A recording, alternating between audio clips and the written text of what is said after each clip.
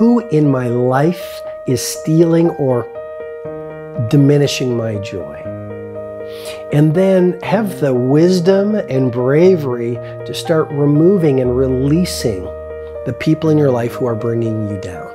And then I always get this message a lot or this question a lot.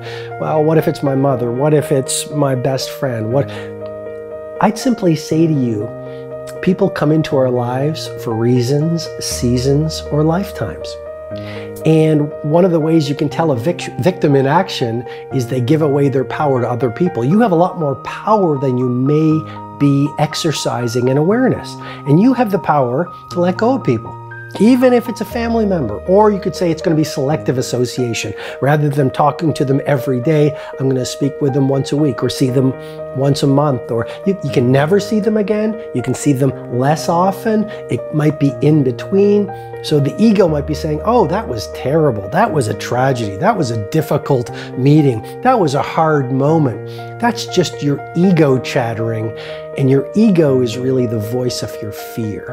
And the more you start to get to know your bravest, strongest, truest self, and the more you stand in your true power versus your fake power, the more you're going to realize everything that happens to you. Be not a resentment collector. A lot of people, what they do is it's all about being positive. It's all about everything being in the sunshine. Well, that's not really a true life. As a matter of fact, if you want to be a legendary leader, you've got to go through a lot of suffering. You've got to be knocked down and then be willing to continue. You're going to be laughed at and you're going to be ridiculed. You're going to face self doubt. You're going to be exhausted at times. You're going to face all sorts of challenges. Everything that happens to you is designed to help you burn away your ego and build more fluency and intimacy with your authenticity. What do I mean by that? I really think it's the times of suffering that make you great.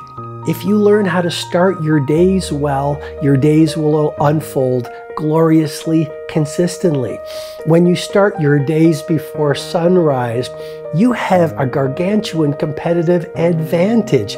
There's no crowds. People are nicer. People are more open. There's no traffic on the streets. You can actually think. One of the lines in the 5 a.m. club is tranquility is the new luxury.